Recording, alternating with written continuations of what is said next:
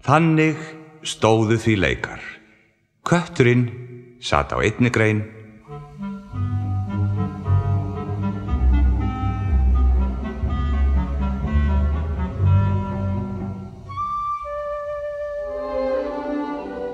Fugglinn á annari.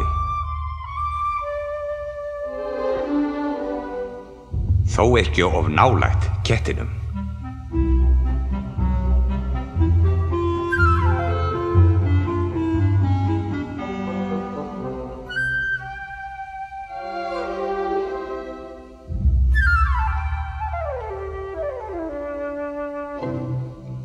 Og úlfurinn ætti í ringin í kringu tréð og horði á þá gráðugum augum.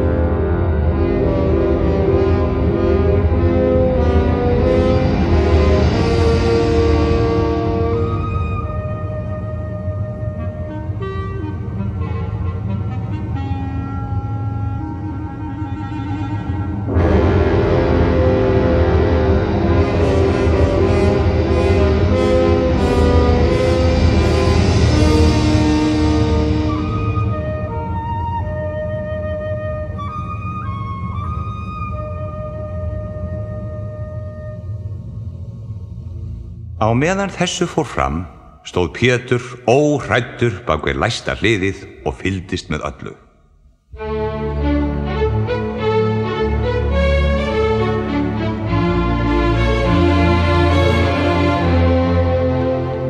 Hljóp heim og náði sterkan kaðal og klifraði upp að háa steinvekkin.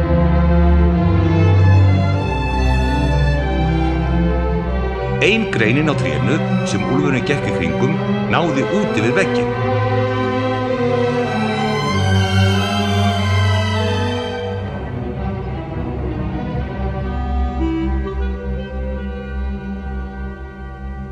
Pétur náði taki á greininni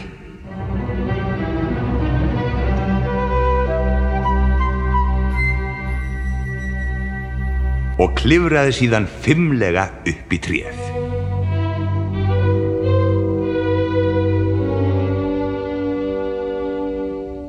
Pétur sagði við fugglinn, farðu niður og fljúðu í kringum höfuð á úlfunum. Gættu þess bara náður ekki.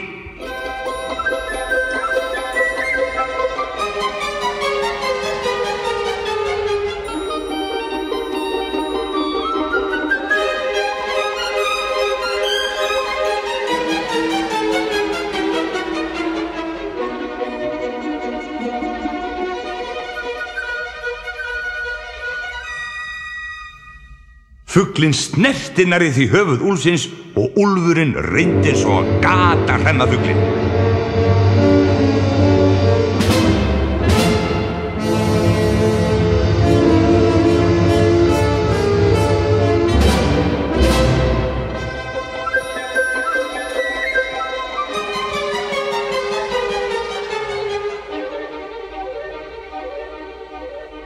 Mikið gerði fugglinn úlfunum gramt í geði og hvaða langaði til að hremma hann en fugglinn var kætni og úlfurinn gati ekki náð honum.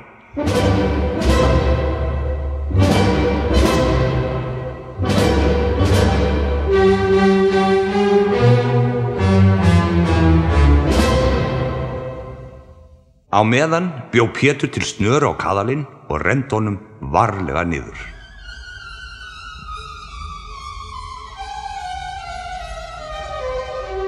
Neðar og neðar. Snaran festust um skott úlsins og Pétur tógaði af öllu afli.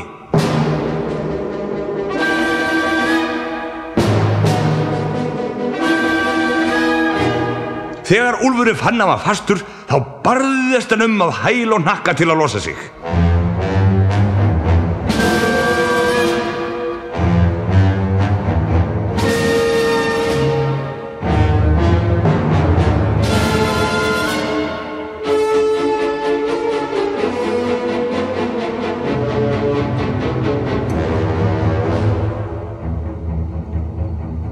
Pétur batt hinn endan á kaðlunum við tréð.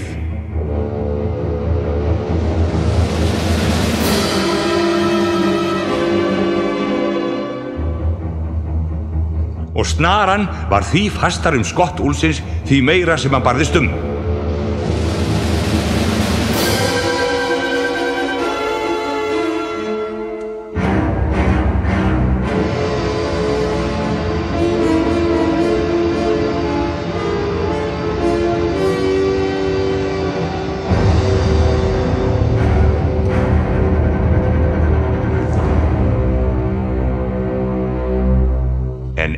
Einmitt þá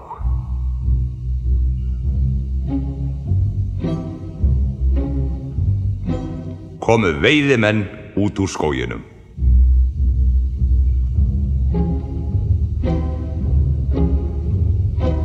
Þeir höfðu rakið slóð úlsins og hleyft að skoti við og við.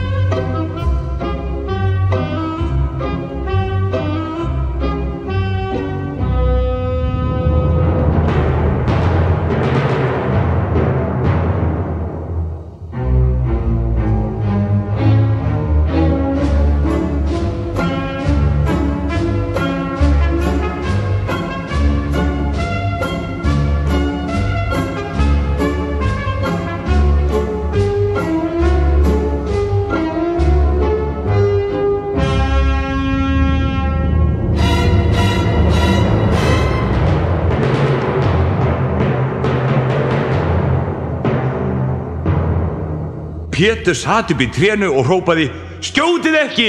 Littli fuglin og ég höfum náð úlfinum!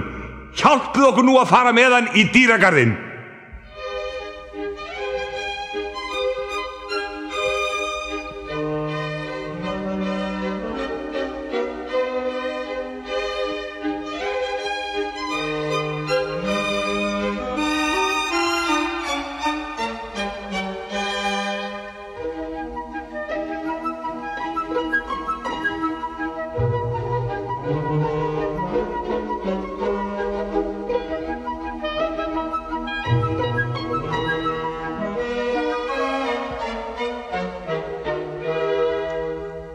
Og svo...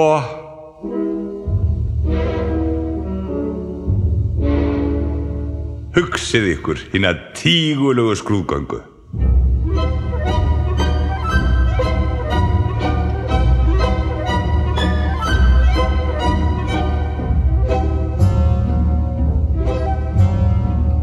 Pétur í broddi fylkingar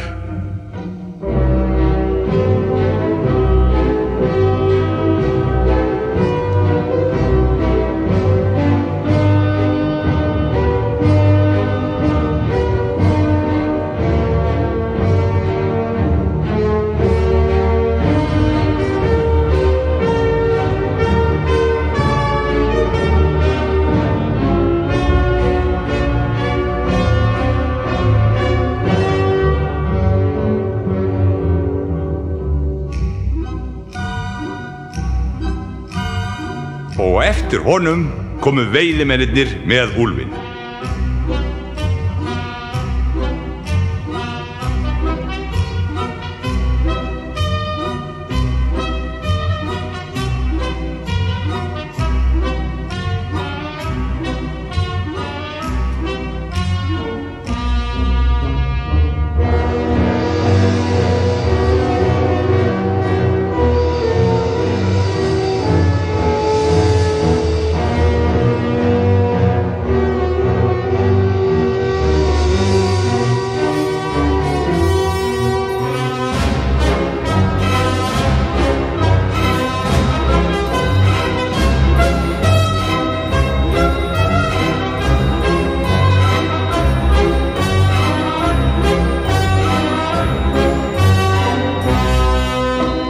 Síðastir af öllum, afi og kötturinn. Afi nýtti til höfðunu með ólund og sagði Hvernig hefði farið ef Pétur hefði ekki veitt úlfin? Ha, Hvað þá, ha?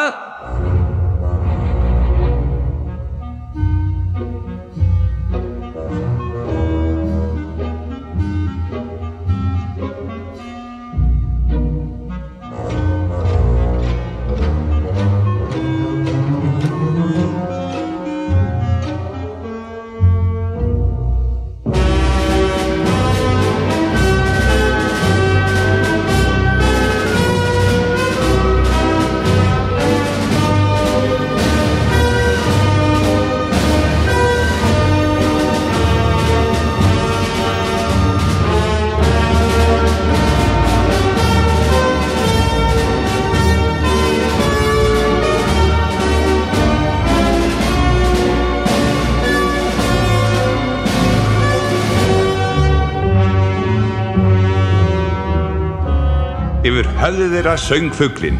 Við erum svo sannarlega hugaðir, Pétur og ég. Sjáu þið hvað þau höfum veitt?